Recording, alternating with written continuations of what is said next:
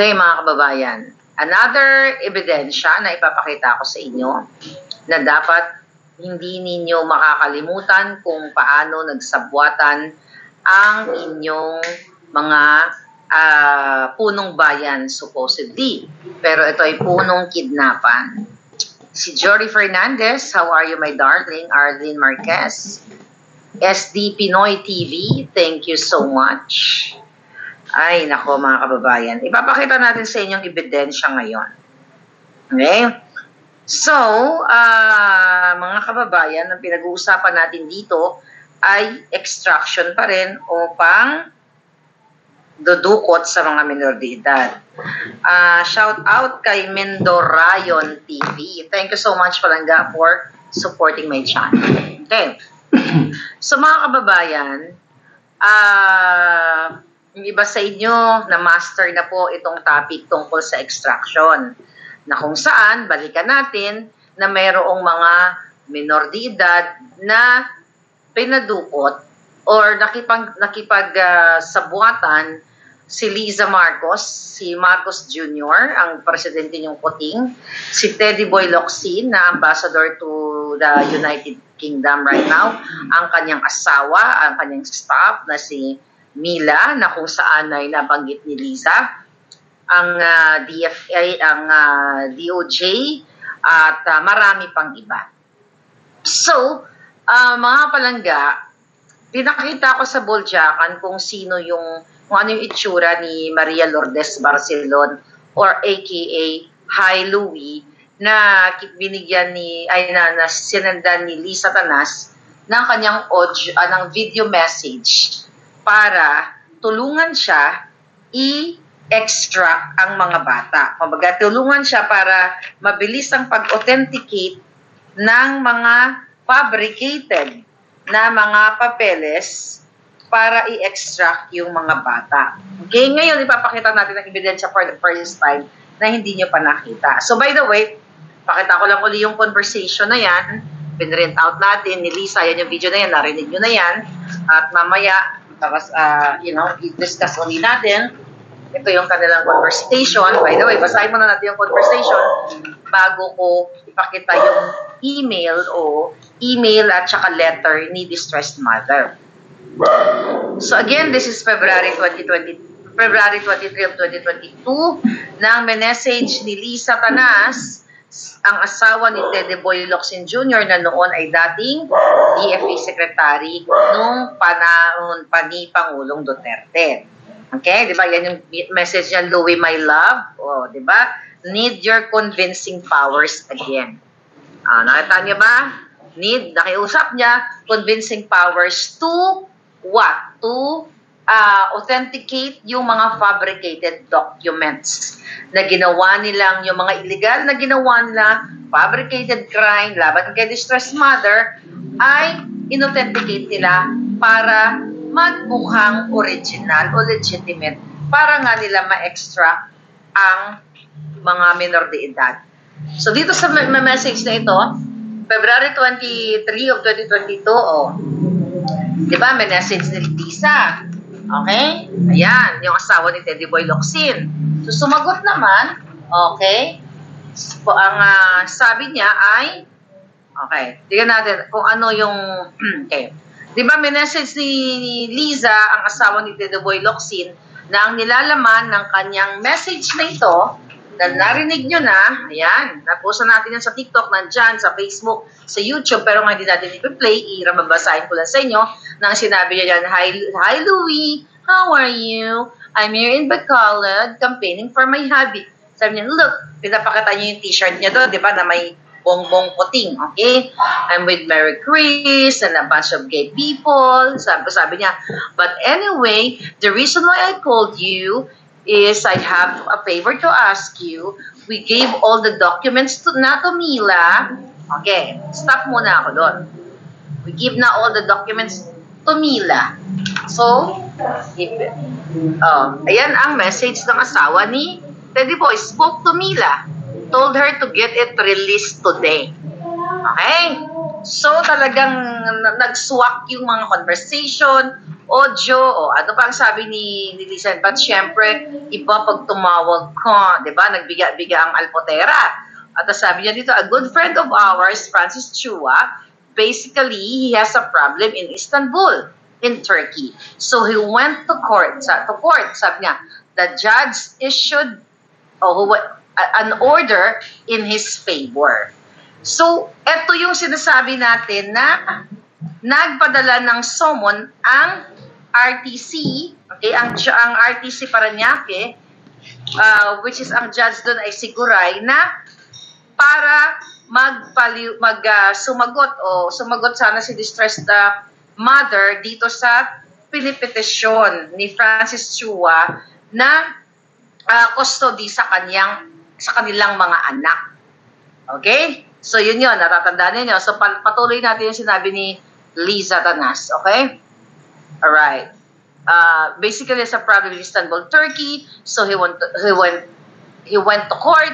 The judge issued an order na in his favor. So now we're just having everything authenticated so that he can be served in embassy in Istanbul, right? So Mila has all the documents. I won't bore you with the details, but if you call Mila just to give a little push, sabi ng Alpot, everything is above board, don't worry. So, ang ibig sabihin, ginawa nilang legitimate. Kumbaga, okay na yung mga papeles, yung mga illegal na ginawa nila, ginawa nilang legitimate para may isang, uh, may isang katuparan nga ang pagdukot o pag-extract sa mga bata. Sabi niya, everything above everything is above the above board. Sabi niya, don't worry, I'm very good at that. Yeah, that is that, that's it. So I hope to see you soon. Da da da da da. Okay. Then, um, narinig nyo na rin yung, uh, yung uh, pakikiusap ni Bianca Zubel, yung kanyang social secretary, di ba? Tungkol dito sa extraction na ito. Pero mamaya natin i-play. Ang gusto ko lang munang ipakita sa inyo, based on sa audio ni Liza, ay nagtugma yung kanilang mga mensahe dito sa pinapakita natin. Okay? Oh, nung sinabi ni ano, ng asawa ni Teddy Boy Locsin, uh, spoke to me and told her to get it released today. Sabi niya, I so love you, Louis dear. Can I get you anything from here? In sun, perhaps Biyaya will be here until Friday. So just tell her, Kay. Sabi niya, so love you, thank you. Okay, tapos sabi ni Louis, I hate to tell you there is a snag. Okay, update ma'am. The division, I think this is from Mila. Division wasn't able to process the documents po since the signature of the person who certified is not updated in their database. Can USEC Dodo contact Jenny to explain that has to be done? Okay? By the way, mga kababayan, dahil nga dito na uh, nalaman ng, ng distressed mother na nakialam si Lisa Tanas para ipa-expedite, ipa-authenticate yung mga fabricated crime na ginawa nila, so sumulat ngayon ito si distressed mother kay Teddy Boy Locsin na DFA secretary. Ang mga Pilipino ang mga OFW, tayo mga mamamayan, kapag tayo po ay sumulat sa gobyerno, sa mga ahensya ng government, o sa Congress, sa Senate, di ba? Meron 15 days para sumagot sila. Dahil nasa batas yun na kailangan nila tayong sagutin. Ito muna ang ipapakita nating letter ni distressed mother. So, i-ano ninyo, intindihin nyo muli yung kapapasok lang So si Lisa ay humingi ng tulong o nakipagsabwatan sa asawa ni Teddy Boy Locsin Jr. na napakaingay niyang buwaka ng inang niyan pero ngayon tahimik sa kidnapping issue niya. Okay? So humingi ng nakipagsabwatan pati sa kay Mila yung uh, staff nila. Ngayon, dahil nalaman ni distressed mother yan at gusto nga silang ipag-extract at gusto silang kidnapin, Sumulat ngayon si distressed mother. Ito po yung sulat niya kay Teddy Boy Locsin. Okay, nakita niyo ba? O, oh, ayan. Ayan, mga kababayan. Yan, first time niyo ma-release yan. Para mapakita natin yung ebidensya sa inyo. Ayan, mga kababayan. Okay? So, anong sabi niya dyan? Uh, that was uh, April 22. Sabi niya, Honorable Teddy Boy Locsin Jr., Secretary of Foreign Affairs, Republic of the Philippines. Please allow me to briefly introduce myself. I am, sabi niya, teka lang, may, medyo maliit. Basahin nyo lang, screen capture. Dito ako magbabasa sa cellphone ko kasi sobrang liit. Labo ng mata ng inyong uh, uh, mother warrior. Okay? So, here. Ngayon, mga palangga, ito yan. Ito yung sulat niya eh. Dito yan sa akin, maliwanag. Okay, ito mas maliwanag. Sabi niya, Dear, Dear Secretary Locsin, please allow me to briefly introduce myself. I am the distressed mother, Filipina, a single parent, and currently residing in Istanbul, Turkey, with my four minor children. All of us are issued residence permit documents by the Republic of Turkey. I am writing you to report the undue interference of the department on a purely domestic dispute pending litigation. So si distressed mother nagsusumbong sa DFA. Okay? I am the respondent, sabi niya, in a petition for guardianship filed by former common law partner Francis Lloyd Chua over three uh, common minor children. Sabi dito ni distressed mother, I am aware the authentication of document is one of the functions of the department through its Office of Consular Affairs. But I would like to inform you that Mr. Chua was able to cut in the long queue and had the authentication of certain documents expedited upon the instance of a certain Mila, okay, Mila, dito yung pangalan niya, Mila from the department and USEC Dodo for the approval of the permit to travel upon the instance of a certain okay, of a certain Louis.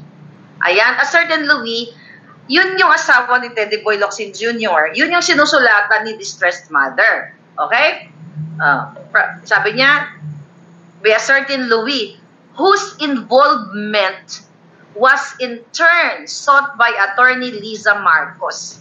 I have proof proofs on this. Yun yung pinakita natin. Ito yun, mga kababayan. Tagal natin malabo, okay? Malino. So, ito yung proof na sinasabi niya, yung video. Pero, mga kababayan, never ever na sumagot si Teddy Boy Locsin Jr. sa sulat ni distressed mother na nangingi ng tulong, sinusumbong niya na ang certain uh, Mila na tao din niya at itong si Lisa ay tinutulungan o uh, kumbaga hindi dumaan sa tamang proseso at uh, nakipagsabuatan kay Lisa. Kaya sumusulat si distressed mother para tulungan siya. Diyan sa letter na yan, kung mapapansin niyo sa ilalim niya, no, may nakalagay na attachment. Alright? Ayan, may attachment yan. Ito yung attachment na yan, mga kababayan. Okay? Yung attachment na yan ay ipinapakita ni distressed mother. Okay? Ito ang Okay. Alright. Okay. Ano yan? Republic of the Philippines? Okay. So, ito yan. Yan yung affidavit of child custody. Okay? Yan yung affidavit of child custody na uh, inano niya, uh, in-apply niya nga dito sa uh, sa, sa konsulado ng Istanbul, okay? Philippine uh, Consulate. Ang sabi niya dito, I am the distressed mother, basahin niyo yan, a Filipino citizen of legal sing of legal, single, and resident of number da da da da da, okay? Naka ano yung address? Paranaque, okay, Manila, Philippines. After having sworn in accordance with law, I do hereby depose and state that I am the biological mother of, okay, sinabi niya yung pangalan ng anak niya, and, uh, okay. So, nakalagay dito, sabi niya, Article 234, ay sabi niya, and according to council, okay, my daughter, sabi niya, is to date still a minor under the law of Republic of the Philippines pursuant to Article 234 of Executive Order number 209 otherwise known as the Family Code of the Philippines. Article 234, emancipation takes place by the attainment of majority unless otherwise provided majority commences at the age of 18 years. And in Article 165, children conceived and born outside the valid marriage marriage are illegitimate. And because uh, the daughter is an illegitimate child, I was further advised by counsel that I that I, her father's admission of paternity, notwithstanding, enjoy sole and exclusive parental authority and custody over her according to law and jurisprudence. Okay? So anyway, ayan yung mga palagay, yung sulat, ayan yung attachment, ah, pareho lang to. Yan yung attachment ng distressed mother. So anong ginawa ni Teddy Boy Locsin Jr. na kinasabwat ni Lisa at yung asawa niya na wala namang manda, wala namang uh, mandato, asawa lang siya ni Teddy Boy Locsin Jr., itong si Hai Louie. So again, tinulungan si Francis Lloyd Tichua kasi nga kasabwat ni Lisa according to my source at na-report na rin naman sa international uh, you know uh, dun sa uh, United Nations at sa Commission on Human Rights International etong si Lisa at saka si Francis Chua iba pa ay magkasabwat sa kanilang mga illegal businesses. Okay? Mga illegal negosyo nila. So, dahil hindi pinansin ni Teddy Boy Locsin, dinedman niya.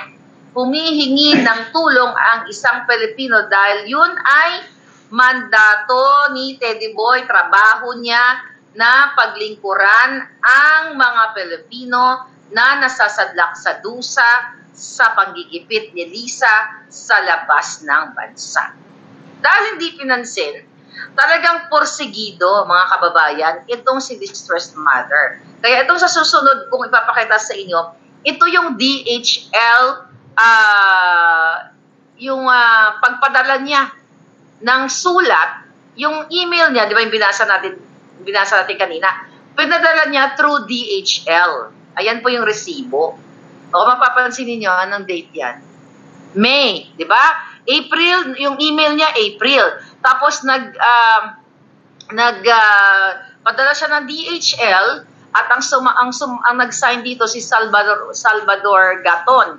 Ewan ko kung sino yang si Salvador Gaton. So kung may mga taga D, uh, mga taga DFA dito nakakilala kay Salvador Gaton na yan, ayan ang pagpapakita na na-receive po yung mail niya. Okay? Yung mail, yung uh, mail through DHL. Ito din ang another resibo na yan. Ayan, papakita natin, waybill, num waybill doc number, sender, da da da da da, Department of Foreign Affairs, da da da da da. Ayan, so, pinapakita dito sa dokumentong ito, mga kababayan, kaya nga ito ay pagtuunan lang ng pansin ng Senado at Kongreso ng Matino, ay makikita talaga nila na si distressed mother ay sinubukan niyang humingi ng tulong sa DFA kay Teddy Boy Locsin Jr. Pero dahil magkakasabwat sila, email wala. Kabutang ina ka, ikaw jutang ginima kang Teddy Boy Locsin, kukunin ka na ng lupang hinayupak ka. Ang tayog ng pinag-aralan mo pero ginamit mo lang sa pagkipagsabwatan kay Lisa para mangdukot ng mga minor edad. So mga kababayan, ipinapakita ko yan sa inyo dahil yung distressed mother, tapos yung email niya, yung una is April to eh. Itong April na to, nasa Pilipinas ako, April 2022, nakikipag sayahan ako sa mga mambubudol na akala ko para sa bayan sila. Pero lingid pala sa, sa ka, ka, ating kaalaman ay si Lisa ay abalang-abala sa pag-aayos ng mga pag-fix ng mga dokumento para mangduot ng mga minor de edad. Kasi April yan ito, yung sulat na yan, April yan of 2022. So ngayon mga kababayan, bakit mahalaga itong usapin na ito? High crime po ito. Nangidnap si Lisa ng minor de edad at yung tatay mismo. Okay? Paano nilang, ginamit nilang term extraction. Illegal. Nag-fabricate ng mga kaso sa kay distressed mother para magkaroon ng legalidad ang kanilang pag-extract sa mga bata. Kaya kinasuhan ng large-scale illegal recruitment at staffa etong si distressed mother and later on nga itong, itong taong ito ay nag-withdraw itong mga nag-complain sa kanya. Pero yung kasong yun, mga fabricated crime na ginawa ni Lisa, ni Chua, ni Teddy Boy, ni Mila, ni uh, uh, Louis, hi Louis, ng uh, ISAF, nakasabwat, nila doon, ng DOJ, ng RTC, lahat ng mga sumabwat dito, yun po ang dahilan kung bakit napadukot, naging successful si Lisa, si Chua at lahat ng mga jutang dinina na iba idukutin ang mga bata, dalawang bata na nandyan ngayon sa Makati na kung saan hindi naman ilalagaan ni Francis Chua dahil uh, housemate o yaya ang mga nag-aalaga kasi in the first place, paano niya mamahalin ang kanyang sariling anak kung siya mismo ang nagpadukot nito? Walang matinong tatay. Ikaw, Chua, walang matinong tatay na magpapadukot at magbibigay ng kalbaryo sa kanyang anak kung yun ay mahal niya. Kasi, mga palangga, ang reason talaga dahil gusto nilang ipa-extract si mother, distressed mother, para makuha yung iPad o ebidensyang hawak niya. Which is according to our source, na i-report na nga yung mga ebidensya doon, video, text messages, kung ano-ano pa, audio, sa o saang bansa sila ngayon, kaya nabigyan ng protection. Ito si distressed mother. So dito sa, sa vlog na ito, pinapakita ko sa inyo kung gaano nagkipagsabuatan ang si Teddy Boy Locsin, sabi ko ang mga jutang ginimis nito, ang tatanda na. Ilang tulog na lang, 80 ka na, Teddy Boy. Yung asawa mo, you know, mukhang amoy, um, ano na, amoy, anong, amoy, imba, ano yung nilalagay pag iniimbalsa mo ka? Ano yun, nilalagay na gamot doon? Hindi naman permit rin. ano nilalagay na gamot? Iko, i-comment mo nga yung mga palangga. Ano nilalagay pag iniimbalsa mo yung tao? I forgot the gamot na pinapaano. So, but anyway, yung mga itsura ninyo, ganun na, papunta, formalin, oh, DK, thank you po, thank you palangga. Yun, yung mga mukha ninyo, you know, mukhang nasaksakan na kayo ng formalin. Pero, ginagawa nyo pa rin ang pandurukot sa mga bata. Again, eto, mga kababayan, ipopost ko to actually sa ating Boljaka na, na, na Facebook page. Ayan yung sulat ni Distress Mother. Okay? Ayan po, ayan, ang mga attachment niya, ito ang resibo, uh, ah, DHL receipt. Oh, dinedma talaga hindi siya hindi siya pinakinggan. Paano nga naman siya pakikinggan? Eh, ang kasabot mismo ang DFA secretary, mga kababayan. Kaya nga, itong si uh, dating ISAF uh, chief na si uh, General Chofilo, sana sir magsalita ka na dahil alam mo to. Tulungan mo ang Pilipino, tulungan mong managot si Lisa Marcos, si Teddy Boy lahat kung ikaw po ay walang involvement dito at ikaw ay para sa bayan dahil sabi ko nga, ni-research kita, mukhang matino ka namang tao, sir. Mamahalin ka ng Pilipino. Yayakapin ka namin ng buong buo kung ipaki, i-booking mo at well, na-booking na kasi. Kailangan ng mga testigo na itong si Lisa, si Teddy Boy, nagkasabwat sila para ipa-authenticate itong mga dokumentong ginawa-gawa nila, pinabricate nila. At ito ang idinulot nila sa mga kabataan. Ito ang mga iyakan ng mga bata na I don't know, baby, the government na dati ko na to anything about it. My process is to do this to me to the innocent process or the illegal. Kumuha, kumuha na.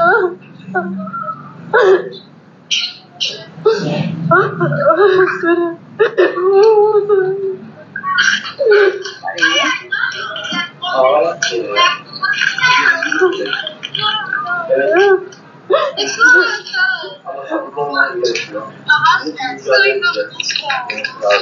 awesome, but it's you, you wait for me.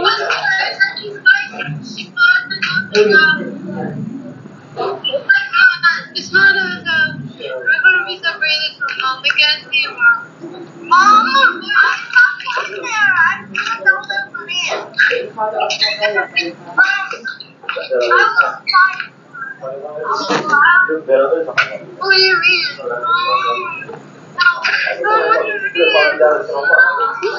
me, how much the government can protect my children than I do?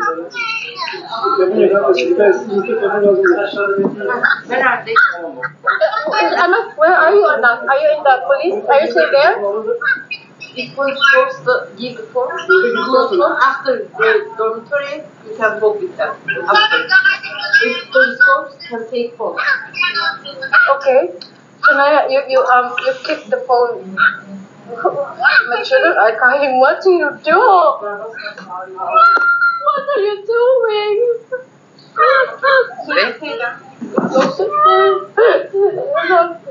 Save your batteries. I'm gonna call you from Texas.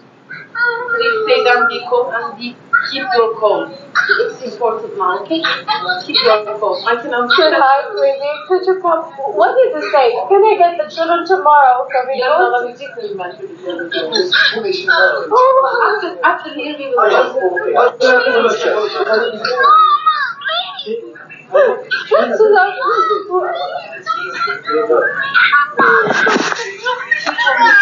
Yes, madam. Okay. Mom, please, no. Wait, wait, wait. Okay. Sweetheart, could you calm down for a while? Where are you? I'm in the other police station. arkadaşlarımı da alabilirsiniz. Ağrıyor. Baby, I, I know. Please calm down, sweetheart. We have to be a safer. Calm down, Anna. Calm We have down. another It's fine. work to do, please. Keep going. Calm down, Anna. Calm down. Sweetheart, I, I tried to close the door. Please, hurry, Mister. They're closing. I know. Grabe. On, phone will give these statements. Sweetheart, uh, uh, I'm not, I'm gonna give a statement. I'll call you back, sweetie, baby. Don't be, don't be strong, sweetheart. You're the mother now. No, I'm, I'm gonna tell you. Wait, Anna, wait. Stop crying, sweetheart. It's Wait, wait, wait, wait, baby. We will fight, don't worry. Well, fine. Mommy will fight, don't worry. Mommy will fight. Can you, can you speak to Priya Sean?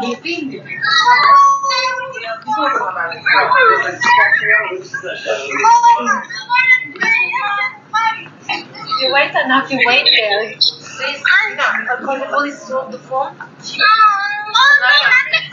You have to hide the phone. No, no, no. Hide the... After dormitory, she can call you. Wait, wait enough, wait.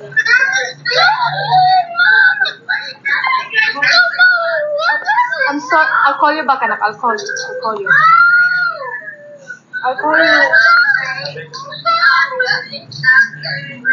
I will do something. Don't worry. I'll do something. Don't worry.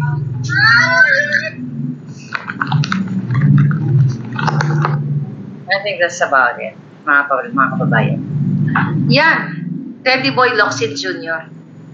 Yan ang inyong ginawa sa mag-ina. Si Lisa, wala nang puso yan dahil puso niyan titim. Demonyo yan. Mga kababayan, kailangan nating ipaalala at kung araw-araw ulit-ulitin yung mga tangis ng mga batang ito para marinig ninyo, marinig ninyong lahat kung anong klasing jablo okay, ang gobyernong ito. At nagtagumpay sila. Okay? Yung, again, may, mag, may uh, transcript yan. Gusto nyo i-share. I-share ko rin yan sa Boljakan. Andyan, nagtatangis sa mga bata.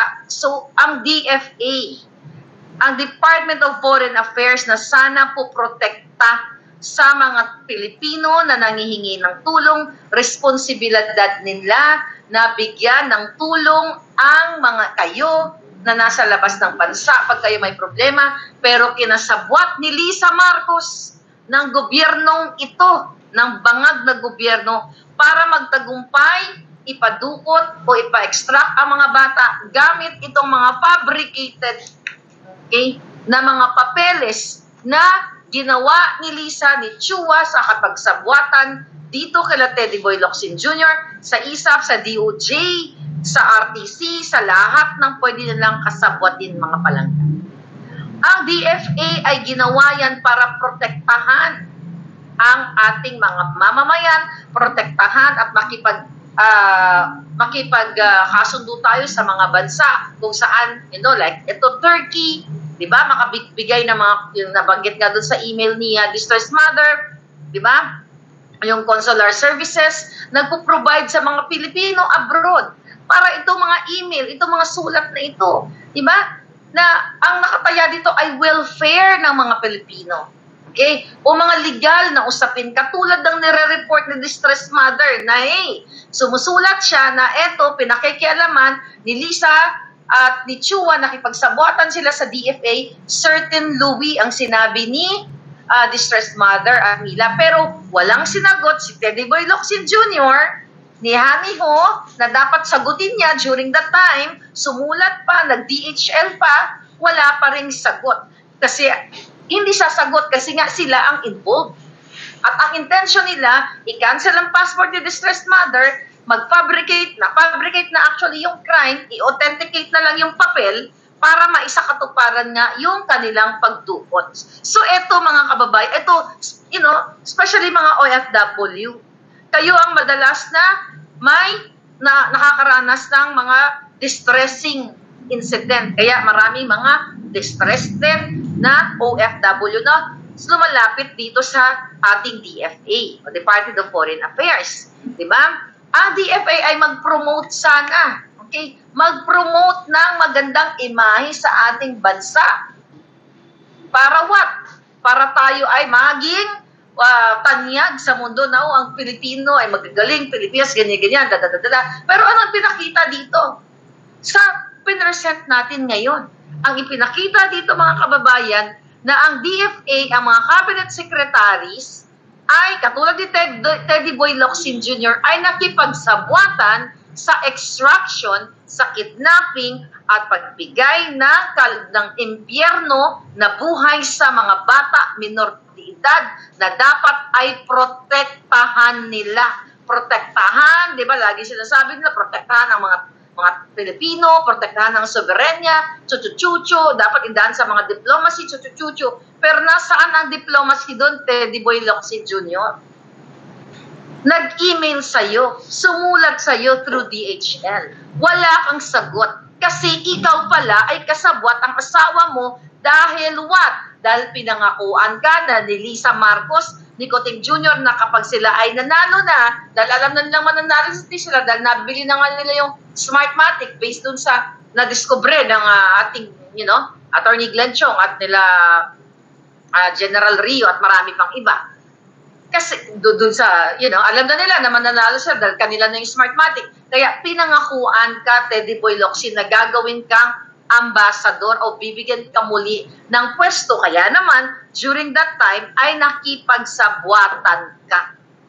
Yan ba ang role mo bilang isang uh, secretary? Ang makipagsabwatan kay Lisa? Yan ba ang interes na isinusulong ninyo o pinapakita ninyo sa uh, international o global?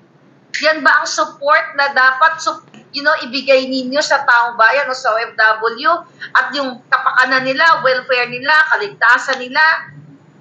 Ano pinakita nyo? Kayo pa mismo ang nagpadukot. Kayo mismo ang nag-abuse ng batas. Nag-abuse ng kapangyarihan na dapat ay inuukol ninyo sa taong bayan. Yan ang inyong duties and responsibilities. Yan dapat ang tayog ng pinag-aralan mo Teddy Boy Locsin Jr. Lalamunin na kayo ng lupa, yung asawa mo mukhang amoy formalin na, pero pin, ipinairal nyo pa rin ang inyong mga vested interest. Si that, mga kababayan. Paano nila binigyan ng hell ang buhay ng mga batang ito na hanggang ngayon ay nakakaranas ng trauma hanggang ngayon dahil inilayo nila ang mga bata sa ina na yun ang may karapatan na mag-alaga sa kanyang anak dahil itong tatay ay nakipagsabuatan nga kay Lisa dahil syempre baka gurgurin din siya ni Lisa dahil nga magkakasabwat sila mga kababayan. Right. So ngayon, Ayon sa ating source, ito, baka may alam kayo, mga kababayan. Ito. Ayon sa ating source, ito daw yung, I, I think nabanggit ko na yata sa mga nakaraang vlog ko, na ito yung mga negosyo ni Francis Chua. ayon sa ating source na kumakamal ng bilyon-bilyong pera galing sa government dahil sa tulong ni Lisa Tanas or magkasabwat daw sila ayon sa ating source. Ito yung mga kumpanya. Premium Mega Structures Inc. Mac Builders, MAC. Octagon Concrete Solutions. Premium Lands. Mega Ship Builders Inc. Incorporated. Premium Motor Pool and Machineries Corp. Industry Movers Corp. Premium Infinite Ventures and O Banana Corp. At yung EEI, yun ang reset, di ba? So ngayon, mga kababayan, eto daw, ayon sa ating source, ay pinaggagatasan nila sa tulong ni Lisa at ni Marcos Jr. Kaya gustong-gusto nilang ma-extract not ang mga bata, kundi si distressed mother. Actually, ang gusto nilang extract, yung iPad.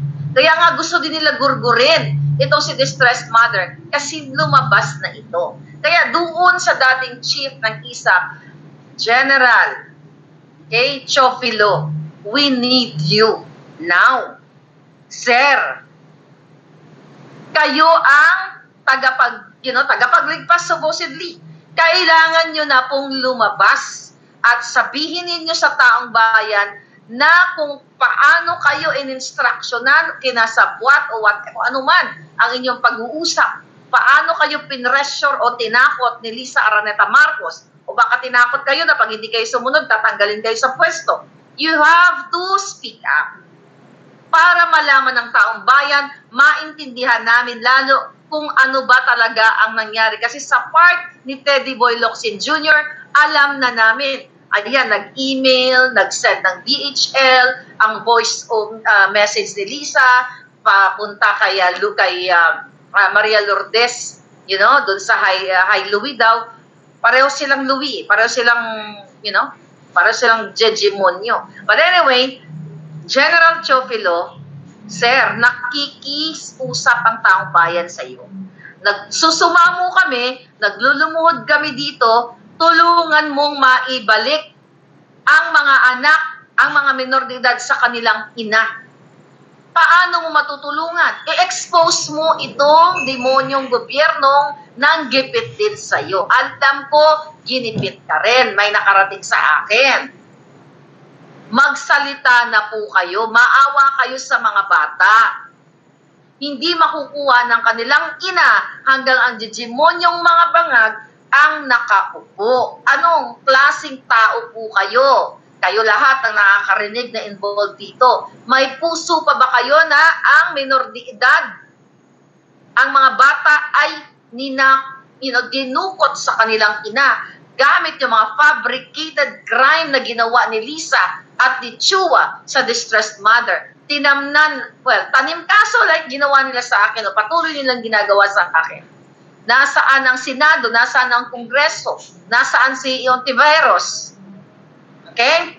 Pero kaya nga, uh, hindi pa rin tayo nakakarating, nakaka-receive ng information uh, from the friends or whoever sa distressed mother camp, di ba?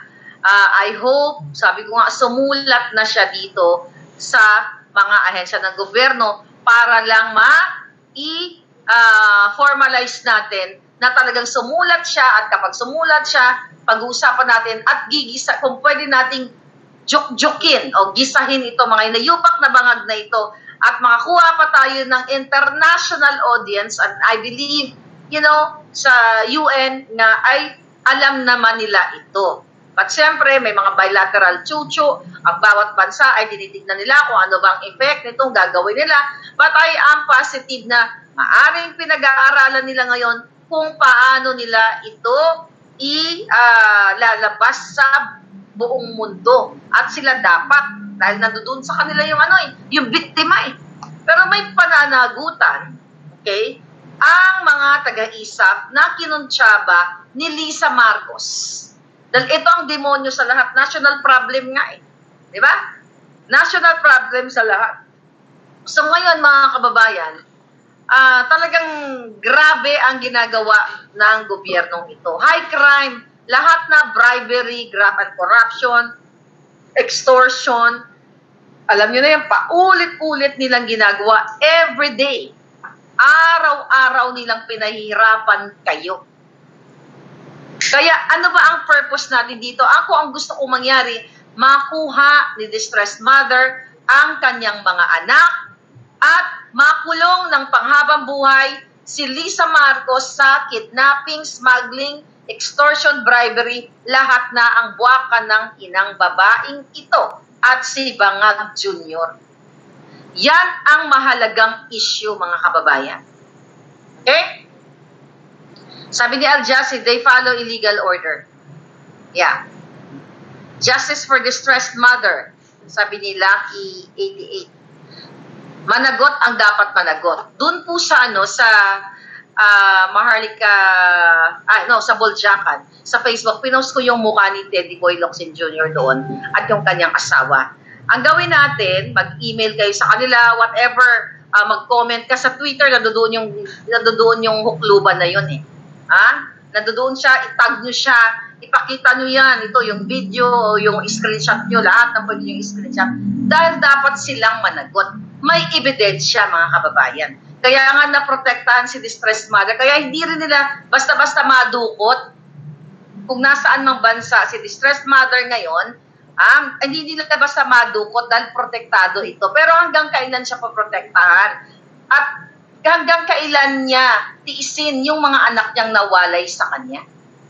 Inilayo sa kanya, ninakaw sa kanya, kinidnap sa kanya. Dahil sa sabwatang ito, ito po ay napaka laking issue na dapat pagbayaran ni Marcos Jr. Dapat nga kung matinulang ang kongreso natin at Senado, impeach na itong mga ito. Si Kuting matagal nang na-impeach, kaso lang, andyan yung kanyang pinsan. Lahat ng kababuyan, kabulukan, ay ginagawa nila, pinagtatakpan nila. Tingnan mo, si Teddy Boy Locsin, kasabwat, pero na-appoint. Dahil sila-sila eh. Sila-sila yung magkasabwatan dito sa kidnapping extraction na ito, mga kababayan. Hmm. Oh.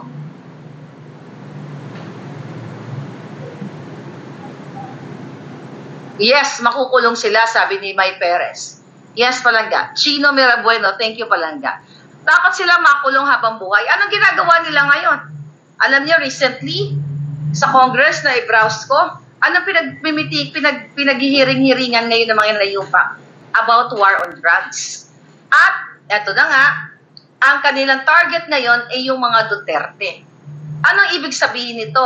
Yung mga biktima daw sa war on drugs during Duterte's time, ito po ay cover up. Kasi gusto nilang pagtakpan yung mga isyong katulad nito at yung PIDEA leaks na si Marcos Jr. ang sangkot sa pagsingot.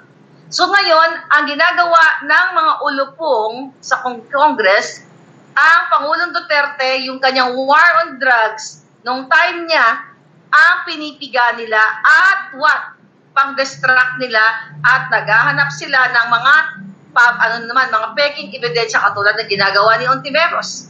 Mga peking ebidensya, peking mga tao. Kasi gusto talaga nilang burahin ang mga Duterte. Yun lahat ng kabutihan na ginawa ni Duterte, yun ang gusto nilang burahin. Nakita nyo naman, si Marcos Jr., wala daw ginawa si Duterte nung Yolanda. Zero, nada. Di ba? That's another kasi nga, ngayon, ang purpose nila, dahil bagsak na bagsak na, in negative 8 nga, ang uh, survey ni Kuting sa Bohol. Di ba? Negative 8. Hindi man lang at least 1. At least, you know, positive yun. Ito, negative 8. Kaya ganito ginagawa nila. Pinupulong at inuutusan ni Lisa Tanasya, mga kababayan. Si Lisa, Jr., si Tambalusos, binabayaran niya mga jutang ginimis ng mga kongresistang yan para maghiring na maghiring patungkol kay Duterte tungkol sa war on drugs. Kita mo si Barbers. Para kalimutan nila itong Pidayalix kung itong matino ang mga kongresista at mga senador. 'Di ba? Ang pinag-uusapan nila ay yung mga gumagamit ng pulburon kung sila ay pantay-pantay ang kanilang pag, pag uh, you know, babalangkas nito mga isyo na ito, bakit si Duterte na naman ang, tinutuk ang, ang nila? Bakit hindi si Marcos Jr. na mismong si PIDEA Agent Morales ay nagpatunay na siya ay suminghot nung time na yon, nung 2012. Again, yeah, negative 8 May Perez. Kasi nga, nakikita na nila yung power ninyo. Nakikita nila na pabagsak, pabulusok na talaga sila. Oh, tingnan mo, pati yung mga kalaban ina-appoint. Katulad ng asawa ni ah, Coco Pimentel. Kaya tignan ninyo, lahat ng mga kritiko, o katulad ni Coco Pimentel, di ba, minority leader siya. O, dapat yan ang kakampi niya ngayon ng bayan eh, na mag-oppose dun sa mga kababuyan na ginagawa nila, ay binigyan ng pwesto yung asawa. So, aasa pa kayo na magkakaroon ng kalinawan ng hearing sa anomalyang pagpapanalo ni Lisa Marcos, ni Bangag Jr., ni Mel Robles ng Lone Better every other day? Sino ang asahan ninyo? Wala na kayo nga. as- Kaya nga, mga kababayan, nasa mga kamay ninyo kung paano humakbang ng maisog. Ang smuggling. Balikan natin si Michael Ma. In-appoint na special envoy to China, pero isinekreto. Walang pa, walang na-publish yung mga leading mainstream media. Pero may nakita tayo na nag-publish na Chinese website, which is yun ang nagamit ko sa aking case laban kay Lisa Tanas na kinaray-karay ko siya dito, right? Si Michael Ma, ayan kasama yan sa aking declaration. Lahat yan dahil itinago yan ng gobyernong bangag sa publiko. Pero may nakita akong kaisa-isang article, kaya nagamit ko yun sa aking case dito. At malapit na, konting kembot na lang. I can't wait to, to talk about ah, dito sa gina, ah, pang, panggigipit ni Lisa Tanas na hindi siya magwawagi. Imagine mo, ginigipit ako, pinatatahimik kayo, pinatatahimik si Duterte, pinatatahimik yung mga makbag ng maisog, kinakancel, lalagyan ng truck, kung ano-ano, di ba? Pati dito sa Amerika, talagang hinahabol ako ni Lisa, pero hindi siya magwawagi. Dahil siya ang dudu, ikaw Lisa ang dudurugin ko, durug ka na nga eh. Hindi kayo mananalo. Utang ina niyo. Pa 4 million, 4 million ka pa. Hindi ka pa, hindi, 4 million dollars gusto mo, hindi ka pa nakontento sa ninanakaw mo araw-araw, hinayupak ang babae ka. Akala mo naman magwawagi ang pagiging bangag mo, ang pagiging bartek mo. Yan ang ginagawa nila mga pagkapal, mga palangga. Pangkikidnap, pang-smuggle. Tapos kayo, okay lang. Oh, yasa na yung supporters ng mga pinklawan. Huwag na tayo umasa dun sa mga binoto ninyo. Kasi yung mga binoto ninyo, hindi nyo kakampi. Kayong mga dilawan na pinklawan na hindi politiko, na nagrally, na, na umasa kayo kay Lenny, o sino pa, kay Kiko Maching. Hmm. Di ba? Umasa kayo, di ba? Nakala nyo, talagang forever silang galit sila kay Marcos kasi magnanakaw. Nasaan sila? Hindi ba yung mga kasama nila ay nandoon na? Sa likod ni Lisa, taga dila ng kipay ni Lisa para magkapera. Kayo kawawa kayo. O, dahil ba etong na-appoint na yung ibang mga dilawan ninyo, tahimik na din kayo. Dapat nga kayo ay, kayo mga kabataan, kayo yung mga woke, di ba, ang tawag sa inyo. Kayo yung mga gising. So ano, nakinabang ba kayo dito sa mga nag-appoint kay, kay mga in-appoint ko? Hindi naman, di ba? So ngayon tumahimik na sila, wala na yung anti-Marcos, anti-Marcos magnanakaw, ganyan-ganyan. Tumahimik na rin kayo. Ibig sabihin, wala rin kayong paninindigan. Kasi, tama kayo nung eleksyon. Tama kayo na si Ma, ang mga Marcos ay magnanakaw, bangag, araneta, smuggler, lahat na. Eh, nasan kayo? Hindi porket nananahimik yung mga taong ibinoto nyo, tatahimik din kayo. Ipapet din kayo, asong julol din kayo para to sa inyo eh. Yung laban ninyo para sa para sa kinabukasan. Kaya kahit nag nag-anuhan tayo, nagbuljakan tayo, tama ang laban ninyo, tama rin naman ang laban namin. Ano ba laban nyo? Para sa kaalwanan ng Pilipinas. Ano ba laban namin? Di ba ganun din? Eh, dinudol kami ni Marcos Jr. Eh, hindi kami nag-stick doon. Pero kayo, binudol kayo mismo ng taong sinusuportahan ninyo. Tahimik kayo? O antayin nyo lang magbangbang-bang, malapit na. Hindi ako nananakot sa inyo. Kailangan na ng Pilipinas ang bubuyog keeper, sabi ni Cotton Pin 20. Oo nga, no?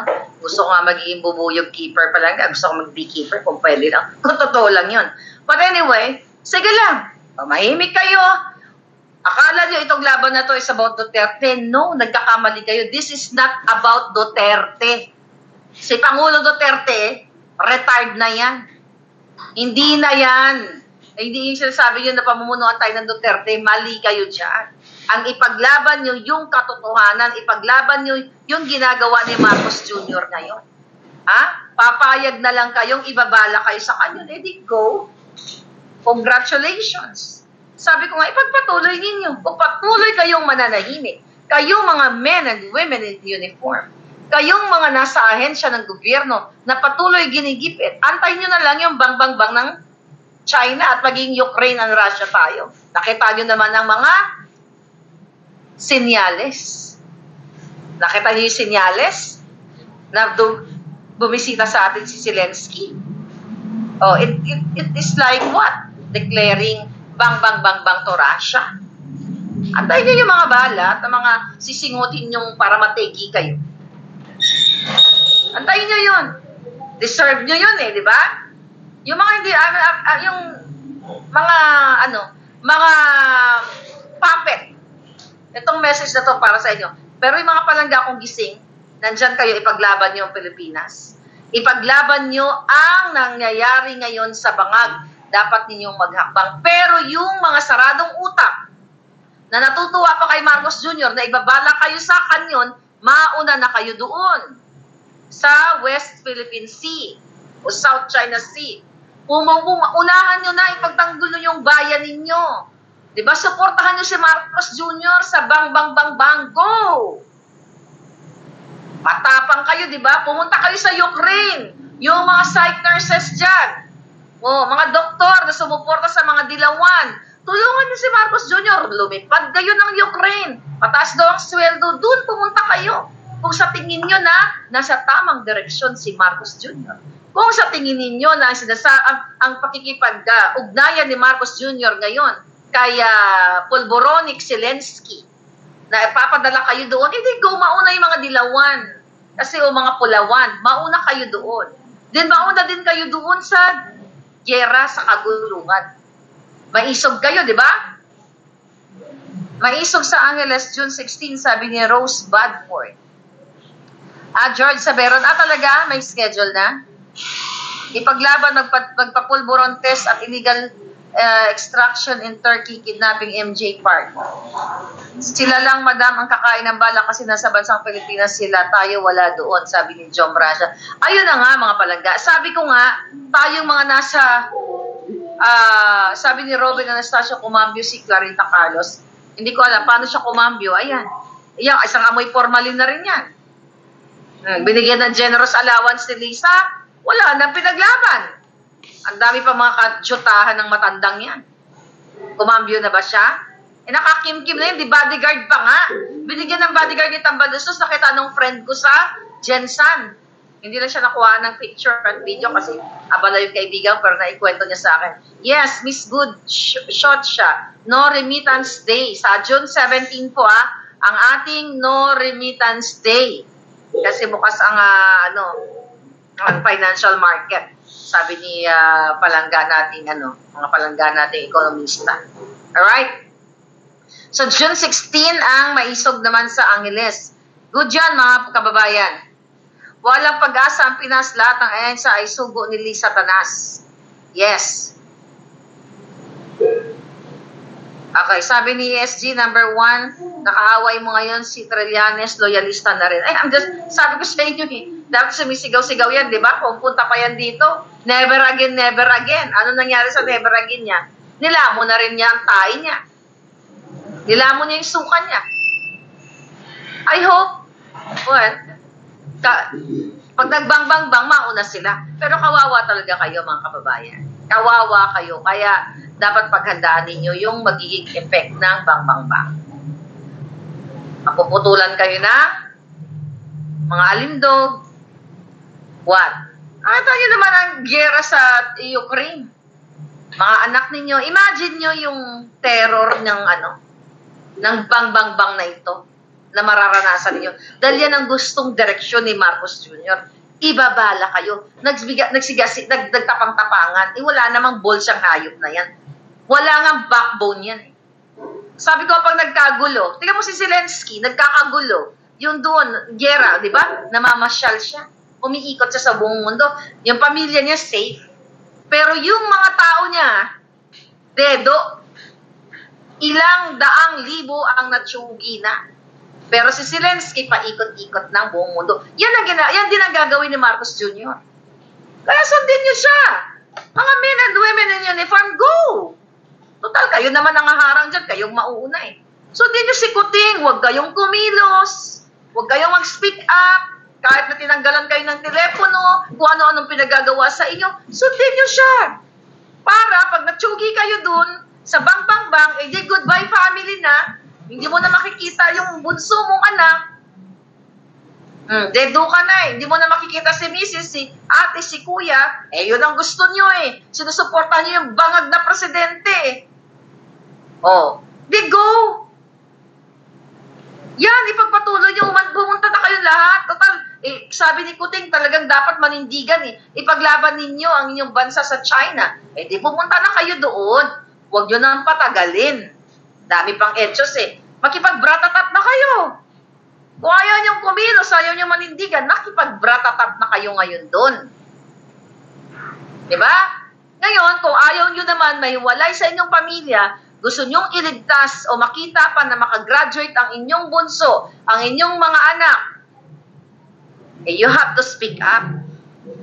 Kailangan niyong wakasan niyang bangag sa Malacanang at ang bartek na si Lisa na sangkot punot dulo ng kidnapping, smuggling, panalo sa loto, bribery, extortion, lahat pangangamkam ng pera ninyo. Yan ang gawin ninyo. Pero sabi ko nga, kung gusto nyo naman magurgur forever at hindi nyo na makita ang pamilya, di enjoy nyo lang. Anyway, ako, hindi naman ako sasalang dyan. eh. Andito lang ako, cool lang. Patuloy pa rin na magsasalita. Pero paano kayo? Ako ba hawak ng armas doon? Hindi naman. Kayo. Kayo lang ang makakaligtas sa inyong mga pamilya.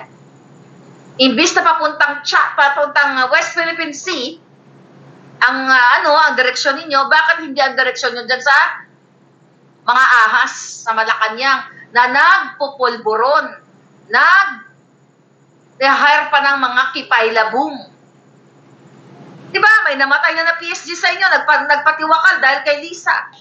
Nag-resign na, nag-early retirement, overwork, sinisigaw-sigawan. Nakita ninyo, PSG. Wala, hindi na kayo binigyan ng honor ng bangag na ito. Look at you, mga high-ranking generals.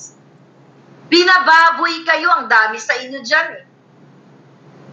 Yung iba sa inyo, tinanggalan ng benepisyo, tinanggalan ng trabaho, tinatanggal ng walang kadahilanan dahil bartek at bangag itong si Lisa Tanas at si Marcos Jr. Sino ba yung mga yan? Alam niyo, nakilala ko, mga basura yan. Marcos lang ang pangalan, pero basura yung mga buwaka ng inang yan. Nabudo lang ako eh. Kung alam ko lang, di sana ako nabubartek sa mga yan. Ano? Kung nakita ko lang to, ang future, eh di sana, oh, inano na natin yan. Di ba? Inalay na natin sa mga kaluluwang ligaw. Yan dapat. O kaya inalay na natin sa mga rebuilding NPA. Nakakampi na nila ngayon.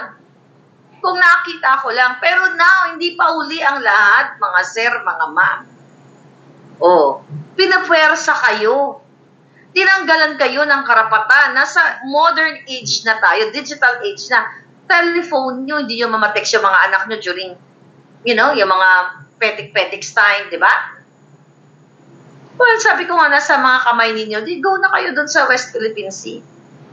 Huwag na itong patagalin. Lumaban na kayo ng bonggang-bongga. Tapusin nyo na, tignan nyo kung gaano katapang kayo. Eh, yun ang gusto ng presidente yung bangag eh. You imagine the effect nitong gusto niyang mangyari. Kagutuman, sakit, pagkalasog-lasog ng inyong mga alindog, pagsinghot, okay? Pagsinghot ninyo ng uh, ano, ng pulburon, you know, no, ng nook, okay? Ng nook powder, okay? Pulburon, pulburon na lang, lahat ng powder, pulburon. I-savor ninyo yon. Imagine niyo yun nga, ako, kinakausap ko yung mga pulis at mga sundalo, ipikit niyo yung mga mata niyo ngayon. You savor the effect of the bang, bang, bang. Imagine niyo yung nagmamarcha kayo, dahan-dahan papunta doon, tapos yung mga anak ninyo, naiwan ninyo, asawa ninyo, nanay ninyo, tatay ninyo, na wala kayong kasiguraduhan kung babakabalik pa kayo. O baka abo na kayo pag uwi. You enjoy that. Eh wala kayong ginagawa ngayon eh. Tahimik ka, enjoy nyo. At hintayin nyo maging abo kayo. Tapos itong mga bangag na ito, unang-una, bangag si Marcos Jr. nagpapaniwala kayo. Mga basura yung mga yan. Ang pamilya nila, polboroni. Ano pa? Uh, orgy-orgy dyan. Mga alpotero at alpotera, mga immoral. Hmm. Tingnan mo si. Satanas. Nasaan na yung panganay niyang anak? Ewan ko, ginurgur niya na yata. Mga immoral yung mga yan, addictus, benedictus, lahat ng kabalbalan na sa gobyernong ito. Pag nanakaw, paulit-ulit na lang smuggling, kidnapping, extortion, bribery, corruption. What else? Ano pa ang inaantay ninyo? Gera? Go! Yan ang gusto nila eh. Di sige, go. Mm. Ano, ang daming troll. Hayaan mo sila nag enjoy para ano, para yan ang, sana yan ang ibala ni, ano, ni Lisa Tanas. Well, mga keyboard, okay. Yan, yan, ang pera ninyo napunta sa mga troll sa Lisa. Nakita yung effect ngayon sa Pilipinas, ang dami ko nakakausap wala na kayo, Lisa. Bulusok na kayo. Inaantay na lang ng tamang panahon. Pero ako, dito sa mga men and women in uniform, gusto ko namnamin ninyo itong sinasabi ko. Every minute. Habang nagmamarcha po kayo, sir, mga ma. Isipin nyo na, wow, hindi na ako makakabalik sa anak ko. Magiging pulburon na ako, magiging abo na ako na pulburon. See? Sayang naman ang pag punyagi ninyo. Sayang naman yung dignidad ninyo. Kung isang pulboronic lang at isang bartek na lasinggera, nikotonera, si Lisa, chokchakera, lahat na, gorgorera, ang magpapatakbo sa inyo at hahawag sa hawak sa inyong mga liig. Tingnan nyo, yung kasabot na si Chua. Billions of billions of pesos ang ini-enjoy nila mga sir, mga ma'am. Kayo, hinahara, inaano kayo, binabala sa bang-bang-bang. Sila may helicopter, may yate, bakasyon grande, o nat, hindi nga natin alam, si Chua ay diplomatic visa pa, ay diplomatic pass, passport pa. O, di ba, sa June 15 ba sila, inibita sila ni Zelensky, pupunta sila sa Switzerland. Dadalhin na naman nila pera ng bayan. Samantalang kayo, na men and women in uniform, kayo lahat ng mga Pilipino, araw-araw nahihirapan. Pero ang pera, budget ng bayan, national uh, budget ay inililipad nila. Lahat ng ka, uh, ka, uh, kaalwanan nasa kanila. Pero kayo, gusto nilang ma-gurgur. Then sige lang. Go. Pagpatuloy nyo yan. Huwag kayo magsalita, sir, ma'am. Pagpatuloy nyo yan, ayaw kayong pagpa-cellphone ni Lisa. Tapos pag hindi kayo umatid sa mga rally nila, tatanggalan kayo ng kung ano man, tatanan kayo ng kaso, enjoy nyo lang. Di naman ako mag-enjoy niyan, kayo eh. Diba? So ituloy nyo lang yung ganyan. And good luck sa inyo. Sa kabila ng mga pinakita na si Teddy Boy Locsin, ayan, imagine nyo, OFW, ha? Dapat, sabi ko nga, ang welfare ng mamamayang Pilipino, labas at loob ng Pilipinas, oh, sinulatan, walang sagot. Ayan ang DHL, ayan ang email, wala. Paano nga naman sasagot si Teddy Boy Locsin Jr.? Eh, ang kasabwat, siya, siya mismo, siya mismo ang nagperma ng mga papel para i-extract o dukutin ang mga bata.